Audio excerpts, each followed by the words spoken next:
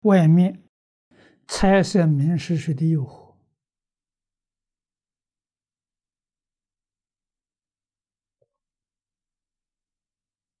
为什么有人不受影响，有人受严重伤害？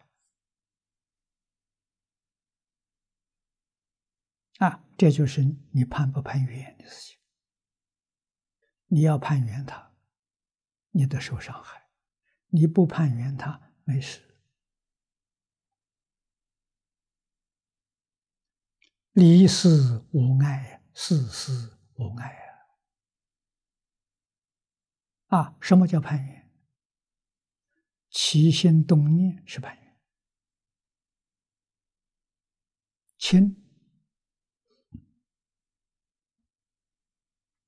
分别是攀缘，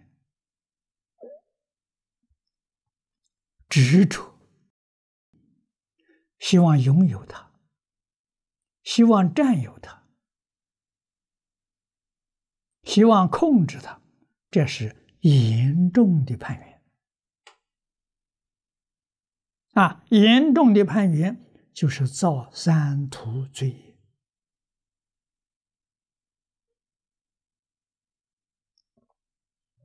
多半都是在地狱。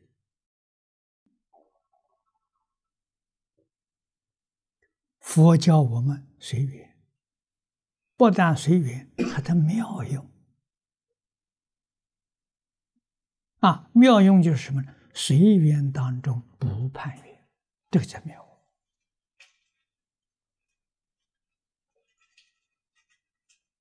啊，随缘跟不判缘是同时的，没有先后。这个妙啊！随缘是恒顺众生，不攀缘是虽然随缘，不起心，不动念，不分别，不执着。啊，事情做得圆圆满满，心里头如如不动。不动心是真心，真心生智慧。心动摇了，起心动念动摇了，分别执着动摇了，这一动摇就造业。啊，善业三善道的果报，恶业三恶道的果报。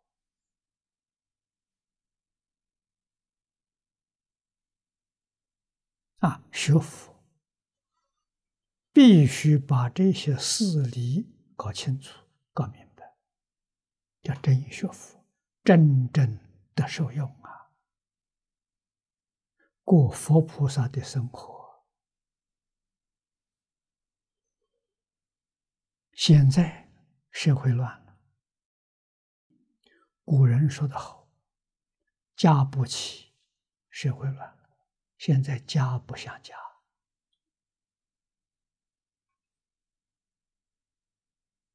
啊，彻底的瓦解了。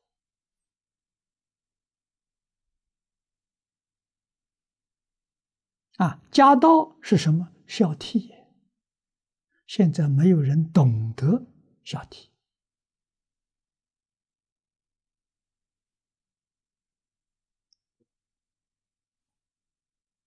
啊，孝是孝亲，悌是尊长啊。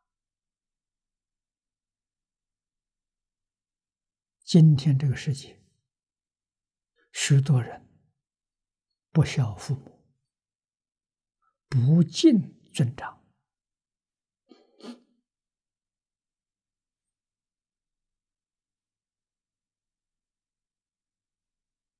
啊，种种不善。都从这个根生的，这个不善的根，恶毒的根，但是他在现在人们的心中真正说得上是根深蒂固。不容易拔除啊。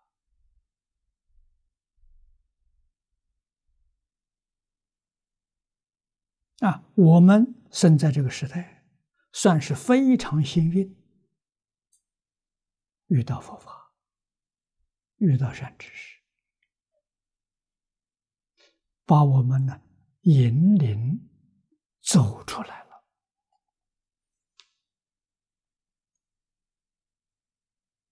这老师的恩德了，三宝的价值。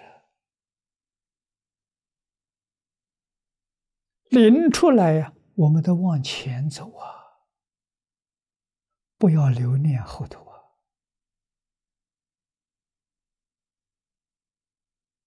为什么走不到尽头，达不到目标，都是眷恋后面。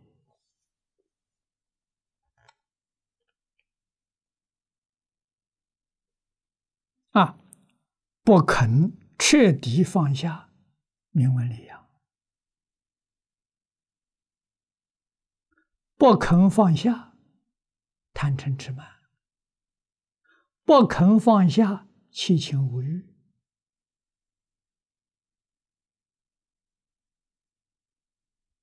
啊，不肯放下财色名利，这就完了。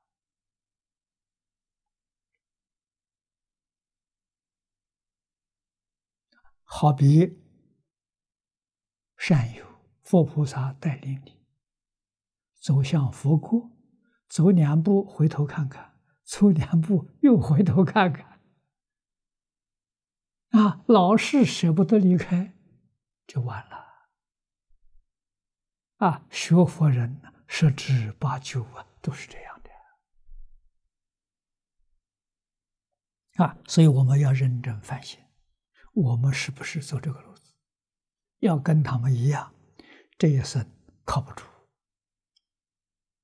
啊，非常可惜啊！